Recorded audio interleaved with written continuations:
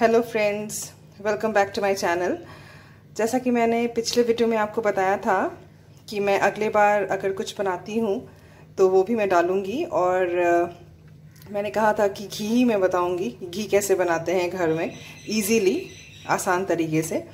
तो ये मैंने एक वीक का मलाई लिया है, जो कि हम हर दिन निकालते थे दूध से और फ्रिज में रखते थे। अभी ये आप देखिए फ्रीज है।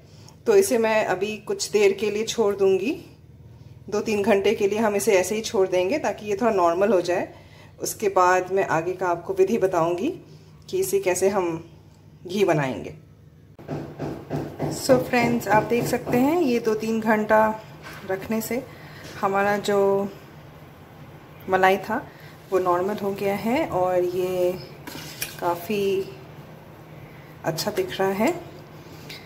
अब इसे हमें फेंटना है, या तो हम इसे क्लॉकवाइज फेंटें, या एंटी क्लॉकवाइज आप फेंटिए, लेकिन फेंटना एक ही डायरेक्शन में है, ठीक है? तो अब हम इसे फेंटना शुरू करेंगे।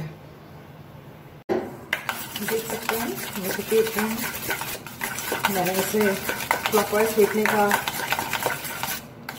डिसाइड किया है।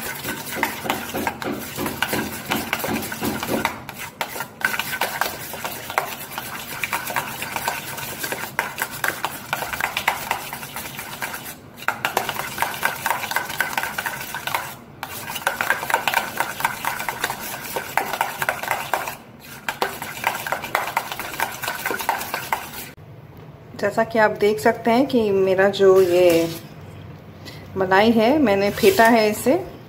ढाई मिनट मैंने लगातार इसे फेंटा है, बिना रुके। तो ये अब ऐसा दिखने लगा है। अब हमें मक्खन को अलग करना है तो हम इसमें पानी मिला के हल्का फेंटेंगे।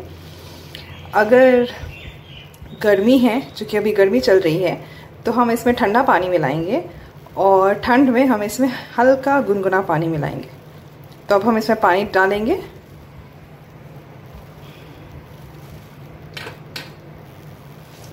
देखिए, हमें हल्का पानी डाला है इसमें।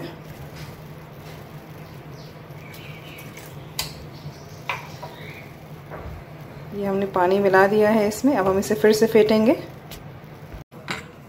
ये देखिए, हमने इसे पानी मिलाया है, और अब हम इसे फेंट रहे हैं। पानी मिलाने के बाद हमें इसे फेंटना है।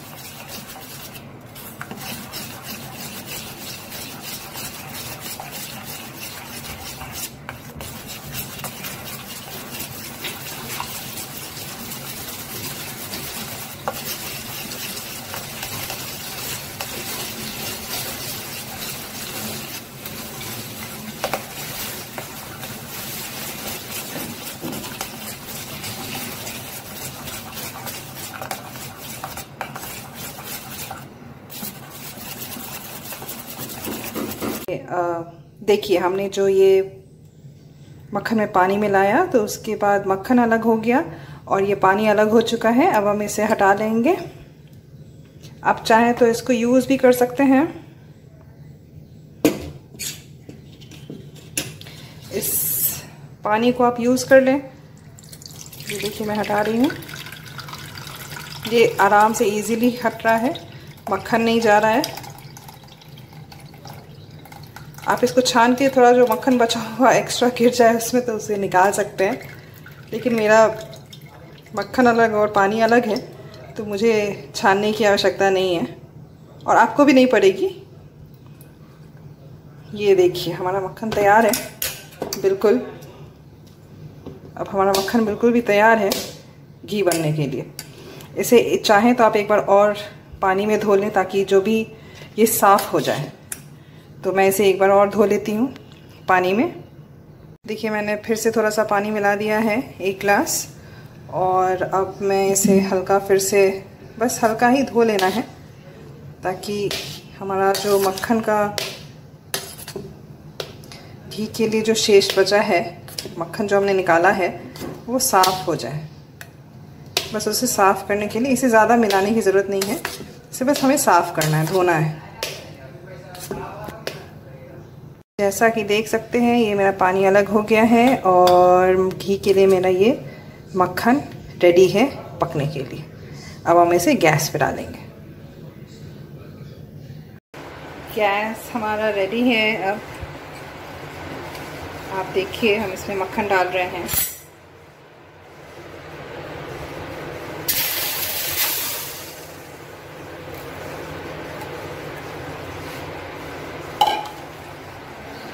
गैस का फ्लेम कम है अभी। आप देखिए, जाते ही इसमें ये झाग निकल आया है।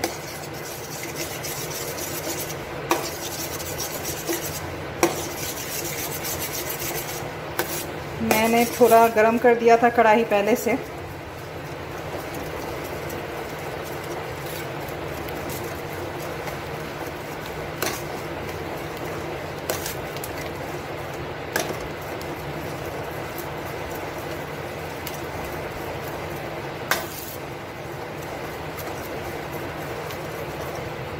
आपको ये कंटिन्यूस चलाना पड़ेगा।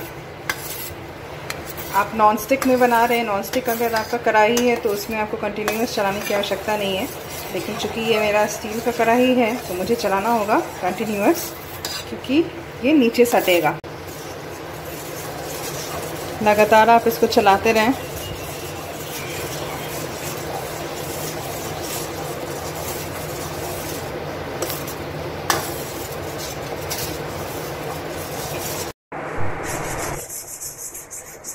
ये देखिए, अब ये मावा इसका अलग होने लगा है और घी हल्का हल्का अलग हो रहा है। इसे कंटिन्यूस मिलाना है क्योंकि मैंने स्टील का बर्तन लिया है। आप अगर नॉन स्टिक लेंगे तो उसमें आपको ज़्यादा मिलाने की ज़रूरत नहीं है।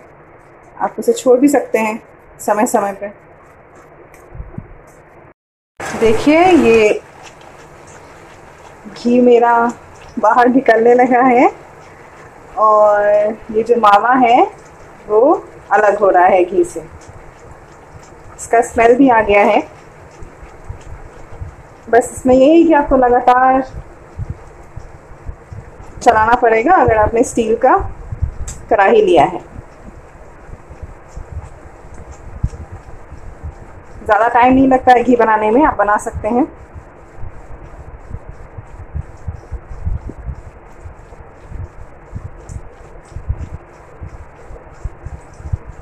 घी बनाना बहुत ही आसान है। हमें लगता है कि वो बहुत मुश्किल है, लेकिन ये घी बनाना काफ़ी आसान है।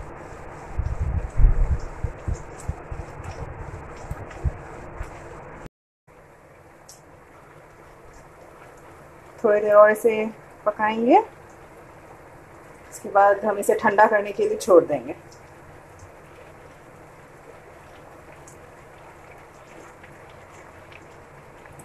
निकल चुका है।